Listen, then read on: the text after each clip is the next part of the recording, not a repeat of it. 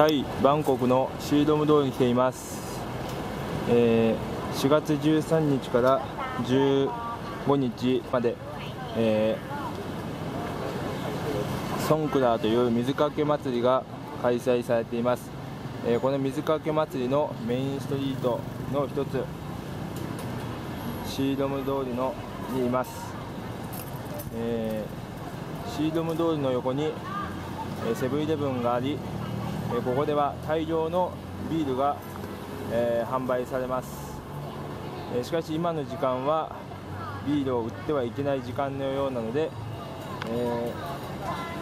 売っていません、えタイのコンビニエンスストアでは厳しくビールの販売時間が規制されているようで、えー、今の時間は売ることができないようでした。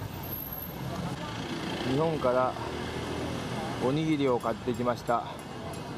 いつもはローソンのおにぎりなんですが今回はセブンイレブンの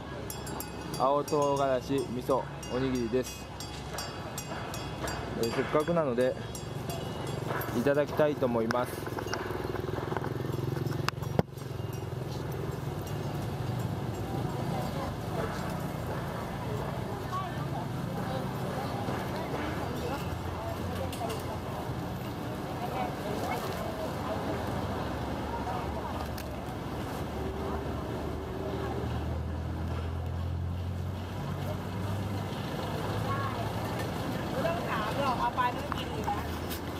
えー、味噌とご飯がよくあって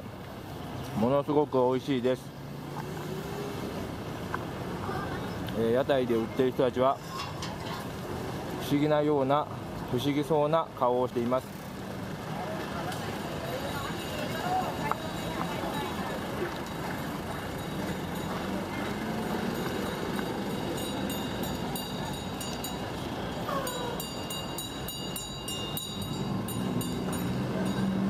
青唐辛子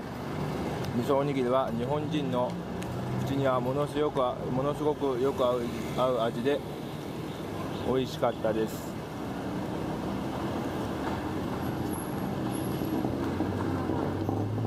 通常はローソンでおにぎりを買うんですが今回は